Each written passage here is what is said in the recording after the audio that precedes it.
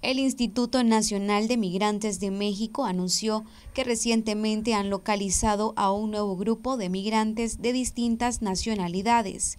A través de su cuenta de Twitter, el INAMI dijo que hoy durante una revisión migratoria a un tren en Loma Bonita, en el estado de Oaxaca, lograron identificar a 40 extranjeros irregulares, entre ellos tres menores de edad que viajaban bajo el estatus de no acompañados.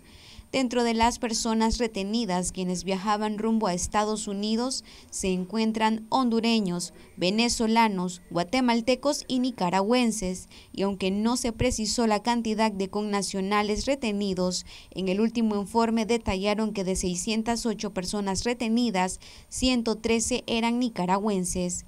Las personas una vez que son retenidas son puestas a disposición de las instancias para continuar con su proceso de migración. Para Noticias 12, Gabriela Solórzano.